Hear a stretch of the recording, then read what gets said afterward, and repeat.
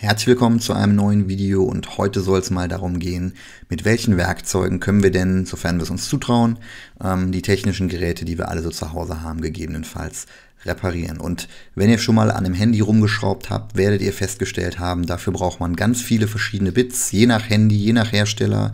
Habt ihr Apple, habt ihr Samsung, braucht ihr unterschiedliche Bits. Und ich habe mir vor einiger Zeit hier mal so ein ganz günstiges Set mit verschiedenen Bits ähm, in, im Internet bestellt. Also das kam, glaube ich, von Amazon oder woher auch immer, weiß ich nicht mehr.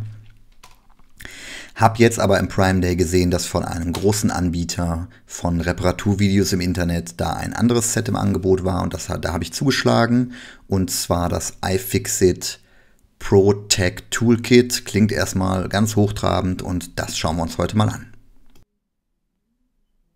Ja, dann schauen wir mal an, was der Hersteller iFixit hier alles draufschreibt. Wie gerade schon gesagt, das Ganze nennt sich ProTech Toolkit und soll ein High-Performance Toolkit sein. Da gucken wir mal, ob sich die Versprechungen nachher auch erfüllen.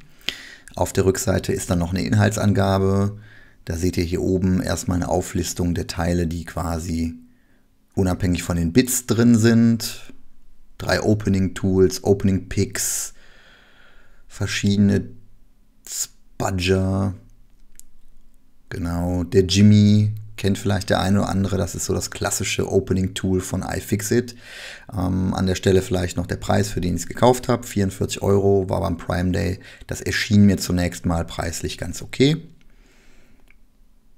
Und dann seht ihr hier noch die verschiedenen ähm, Bits, die mit dabei sind, die für verschiedenste Anwendungszwecke geeignet sind oder nötig sind sozusagen.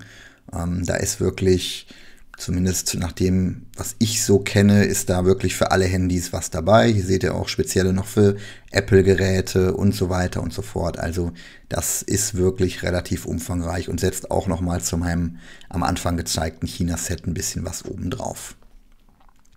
Ja, und dann wird natürlich noch auf die Videos auf der Internetseite verwiesen.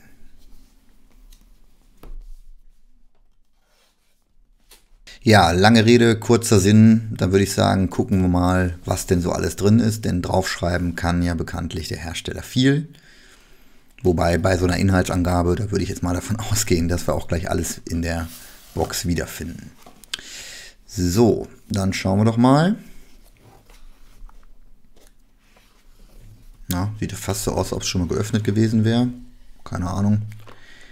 Ja, hier ist das Ganze und zwar direkt schon in so einer ja, ich nenne das mal Nylon oder was auch immer das für ein Material ist, ähm, Tasche. Das iFixit ist schon ein bisschen verblichen, komisch, dafür, dass es ganz neu ist. Naja, was soll's.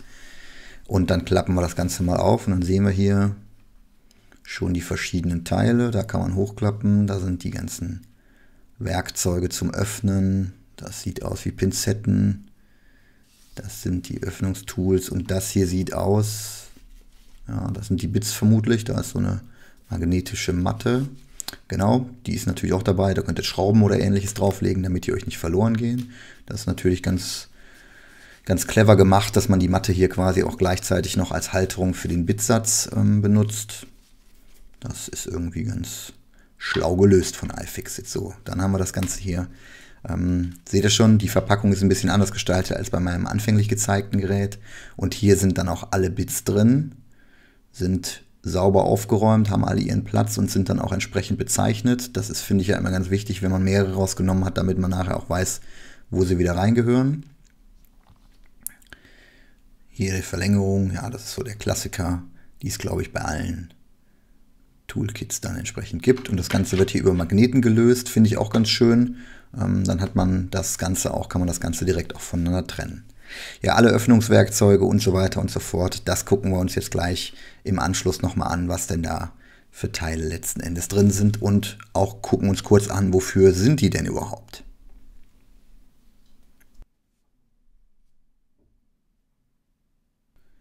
Ja, dann wollen wir mal schauen, was für Teile denn sind denn drin und ich versuche mal zu erläutern, wofür sie denn sind, sofern ich selber drauf komme. Ähm, als allererstes habt ihr hier so eine Art, ich nenne das mal Erdungsarmband oder wie auch immer, ich weiß nicht, wie der offizielle Titel dafür ist. Ähm, das dient letzten Endes dazu, damit ihr eure statische Aufladung entladen könnt sozusagen. Denn gerade wenn ihr mit elektrischen Geräten arbeitet, ist es ja wichtig, dass ihr da quasi nicht durch eure eigene statische Ladung irgendwelche Schäden verursacht. Das Ganze legt euch einfach um den Arm und dann kommt dieser Clip an irgendwas, was geerdet ist, zum Beispiel eine Heizung oder ähnliches, ähm, damit das Ganze dann quasi euren Körper entlädt, wenn ihr so wollt. So, was kommt als nächstes zum Vorschein? Was haben wir hier? Ja, ein Saugnapf, der ist im Wesentlichen natürlich dazu da, um Display abzuheben. Das heißt, wenn ihr bei eurem Handy quasi das Display ähm, gelockert oder entfernt habt, das dann anzuheben. So, als drittes, das sieht mir nach einem Opening-Tool aus, also irgendwas zum Öffnen. Die sind hier relativ scharfkantig, das heißt, da kommt ihr auch in schmale Kanten mit rein. Und ähm, dadurch, dass die aus Plastik sind, macht ihr auch keine Kratzer. Was steht hier noch drauf? Ah, okay. Ähm, das heißt, es scheint so, als ob das dann abbrechen würde, bevor euer Gerät kaputt geht. Ob das in der Realität auch so ist, da mache ich mal ein großes Fragezeichen dran. Ähm, aber ist zumindest schon mal mitgedacht, dass die Teile dann letzten Endes abbrechen, bevor nachher irgendwas an eurem Gerät abbricht. Deswegen gibt es wahrscheinlich auch drei Stück. So, was haben wir dann hier noch? Das sieht ein bisschen aus wie ein Plektron. Sind das? Ja, sechs Stück. Ich nehme mal an, die sind auch so ein bisschen dafür gedacht, um irgendwas aufzuhebeln. Ähm, oder aber um nachher vor allen Dingen auch, deswegen sind es wahrscheinlich auch sechs Stück, ähm, um nachher was, wo ihr schon reingehebelt habt, nochmal was reinzusetzen, damit sich das Ganze nicht wieder verschließt. Von daher ist die Anzahl auch ähm, sicherlich ganz gut. Da könnt ihr dann an mehreren Stellen sozusagen schon mal das Ganze ähm, fixieren oder vielmehr geöffnet halten. So, packen wir hier mal wieder rein. Na, so, dann haben wir hier eine Pinzette und zwar ähm, die über Kreuz geht, also eine Kreuzpinzette quasi, wenn man so möchte. Ähm, das ist natürlich ganz hilfreich oder finde ich ganz hilfreich, wenn ihr kleine Gegenstände habt, ähm, die dann quasi von selbst auch wieder gehalten werden. Und ich zeige euch das mal, die ist vorne auch wirklich sehr schön spitz. Also das heißt, da könnt ihr auch ganz kleine, feine ähm, Schrauben oder Schräubchen oder ähnliches mit ähm, sehr gut aufhalten sozusagen oder vielmehr in der, in der Pinzette halten. So, dann haben wir hier noch äh, eine weitere Pinzette. Auch relativ dünn vorne ähm, und so ein bisschen gebogen. Das heißt, da könnt ihr dann quasi auch relativ gut in die Geräte reingehen. Was hier nicht der Fall ist, die hat hier oben kein, keine Riffelung. Das finde ich ja immer ganz praktisch, wenn das dann noch geriffelt ist. Das hilft dann noch zusätzlich, den Gegenstand zu halten. So, dann eine ja, ich vermute mal, das ist eine normale Pinzette in Anführungsstrichen, genau. Die hat oben auch eine Riffelung, die ist auch relativ breit, das heißt für feine Anwendungszwecke nicht so gut geeignet. Dafür ist dann wahrscheinlich eher die gebogene Pinzette gedacht, ähm, sodass man damit dann quasi eher gröber unterwegs ist. So, was haben wir als nächstes? Ja, das ist erstmal, ähm, ich würde mal sagen, ein spitzer Gegenstand, um irgendwas Spitzes zu machen. Das hier ist so eine Art kleiner Spatel, womit ihr quasi auch wieder irgendwo reingehen könnt. Ähm, ich glaube, das ist auch ganz hilfreich, ähm, dass das hier nochmal mit dabei ist. Dann haben wir hier noch einen zweiten Spatel, der hinten auch noch einen Haken hat. Das ist vorne auch sehr, sehr dünn. Das, ich weiß nicht, ob man das hier vernünftig erkennt, aber da kommt er wirklich, glaube ich, auch mit in die schmalsten Stellen rein. Das ist, glaube ich, auch mit der dünnste Spatel, den wir hier dabei haben. Also das heißt, dieses Teil ist dann wirklich für die ganz schmalen Stellen letzten Endes gedacht. Und wenn ihr mal etwas härtere Stellen habt, ist, glaube ich, hier, oder dafür ist es vermutlich gedacht, ähm, noch ein Metallspatel mit dabei. Der ist einmal vorne abgerundet, auf der Seite und auf der anderen Seite ein bisschen spitz. Also wenn es mal etwas gröber wird, dann habt ihr hier noch auch einen Metallspatel mit dabei und seht hier, dass auch die Grifffläche noch geriffelt ist. Das ist dann noch, um es besser zu halten. Ja, und das klassische iFixit-Tool, der Jimmy, ähm, damit kriegt ihr fast alles auf. Ist ein bisschen dicker als der kleine Spatel, den wir gerade eben gesehen haben, aber dieses Teil äh, an sich kostet, glaube ich, schon 10 Euro. Also das ist auf jeden Fall was, was ich zumindest ähm, auch vorher schon immer haben wollte und was, glaube ich, auch ganz hilfreich ist. Ja, das ist das Set an sich gewesen und ähm, im nächsten Schritt würde ich mal sagen, gucken wir jetzt einfach nochmal rein in den Bitsatz, ohne euch jetzt jeden einzelnen Bit erklären zu wollen.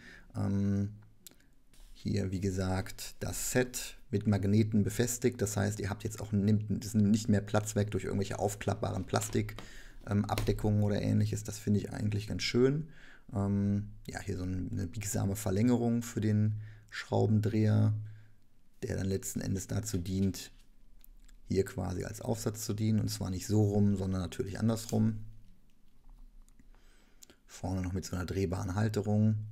Das ist und macht auch erstmal einen ganz guten Eindruck. Also auf jeden Fall wertiger als das, was ich vorher bei meinem China-Bitsatz ähm, dabei hatte. Was ich im Internet gelesen hatte, war, dass hier eine Art Gummierung aufgetragen ist auf den, auf den Schraubendreher. Das Gefühl hatte ich jetzt hier irgendwie bei mir nicht. Ich weiß nicht, woran es liegt. Vielleicht habe ich auch eine neuere Version oder sowas, aber das macht mir nicht den Eindruck, als ob das gummiert ist, sondern das ist, ähm, glaube ich, eher Metallern. Also insofern, das sorgt auch nicht für Abrieb, denn das wurde im Internet öfter mal beschrieben. Kann ich bei mir hier nicht feststellen. Ich versuche nochmal intensiv zu reiben, ob ich da irgendwie Farbe oder ähnliches Abrieb dran habe, aber wäre mir jetzt hier nicht aufgefallen. Insofern, ähm, vielleicht ist das in einer älteren Version noch so gewesen, jetzt nicht mehr, das weiß ich nicht genau. Ja, und dann, wie gesagt, ähm, eine ganze Reihe von Bits, und zwar insgesamt 64 Stück und hier auch immer bezeichnet mit den verschiedenen Größen und den verschiedenen ähm, Aufsätzen, sodass ihr nachher dann auch immer wieder in die Sortierung zurückfindet. Denn wenn man erstmal in aller Hektik die verschiedenen Größen beim Handy, gerade am Anfang, wenn man das das erste Mal macht, durchpro durchprobiert, ähm, dann ist es auch ganz hilfreich, wenn man nachher die wieder in die richtige Sortierung bringen kann. Und ich habe es mal so ein bisschen durchgeguckt, da sind wirklich für alle Eventualitäten, glaube ich, Aufsätze mit dabei. Da braucht man sich keine Gedanken machen, ob jetzt iPhone, ob Mac oder ähnliches. Ich glaube, für fast alle Schrauben, die mir zumindest so bekannt sind, ist da was dabei, damit ihr letzten Endes da auch eure elektrischen Geräte öffnen und gegebenenfalls in Teilen vielleicht auch reparieren könnt. Hier nochmal so ein bisschen eine Nahaufnahme, aber wie gesagt, alle einzeln aufzuführen, das macht, glaube ich, keinen Sinn. Da könnt ihr im Internet besser noch nachlesen. Ich füge euch auch unten nochmal den Link dazu, ähm, was da letzten Endes alles mit dabei ist. Ja, dann packen wir das Ganze mal wieder so ein kleines bisschen zusammen. Ähm, vielleicht so als ersten Eindruck. Lasst euch mal von meiner Seite aus gesagt sein, dass das eigentlich einen ganz guten Eindruck macht. Aber, und das ist das Entscheidende aus meiner Sicht, ihr bekommt diese Geräte oder diese Teile, die hier in dem Set dabei sind, natürlich im Internet auch deutlich günstiger und billiger. Ähm, ob die dann auch immer die Qualität haben und ob das hier Qualität hat, das wird sich dann in den nächsten Tagen und Wochen zeigen. Der erste Eindruck ist erstmal positiv und auf jeden Fall besser als das Bitset, was ich vorher hatte und was deutlich günstiger war. Also insofern würde ich sagen, da ist schon mal ein, ein positiver Effekt zu sehen und die Werkzeuge, die hier dabei sind, die machen auch auf den ersten Blick einen ganz guten Eindruck. Falls Fragen sind, gerne ab damit in die Kommentare. Und ansonsten bleibt mir an dieser Stelle wie immer nicht mehr nichts anderes mehr zu sagen als Alexa, Kamera aus. Okay.